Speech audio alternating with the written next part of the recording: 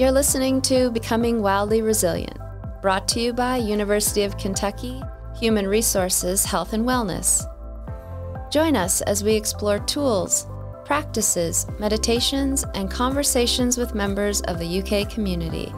Together, we will discover how we can thrive at work, home, and beyond.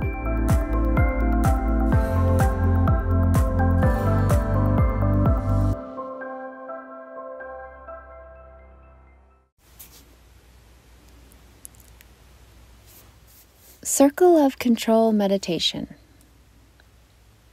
Wherever you are, sit back, close your eyes, and settle into your breath.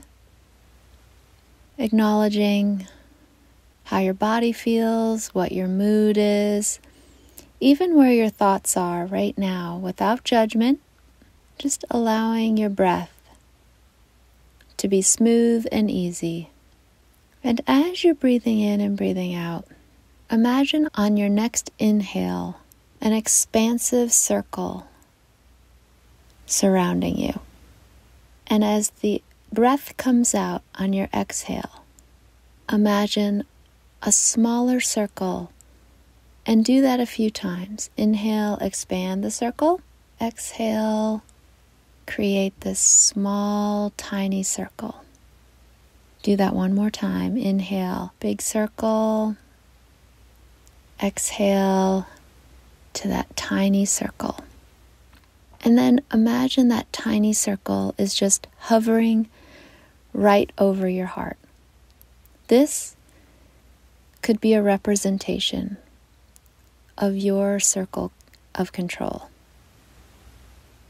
Your circle of control is how you respond, how you react, what you choose in any situation. So, if you could hold gently that tiny circle of control, what you can control, and bring to your mind maybe something that's causing you a little angst. Maybe it's a person, a circumstance, or a situation that you literally feel like you have no control, you feel out of control, and without judging yourself.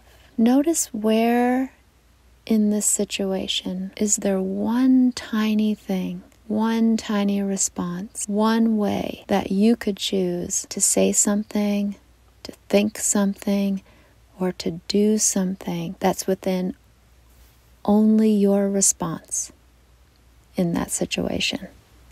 Not wishing it away, not believing you can only be happy if something or someone changed. But what could you do in this moment to bring an ounce of peace, an ounce of a sweeter voice to yourself or to others, or an ounce of a change of thinking that could truly benefit your health, your mood, your work, your family, and your container of joy and hope. Knowing this is a difficult practice. Maybe placing your hands on your heart, or one hand on the heart and one hand on the navel, and just going back to your breathing. Even if that small way of being isn't coming to you now, you could add mantra to yourself. I believe I can control my thoughts, my words, and my actions. And maybe for today, that's all I can do. Just stay with your breathing about two more breaths.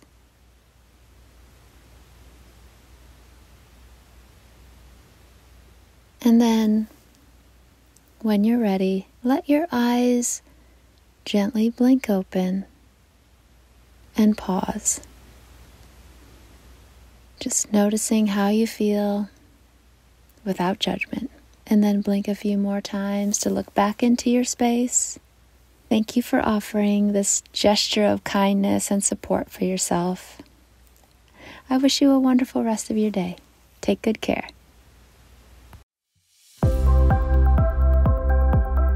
Thank you for listening to Becoming Wildly Resilient.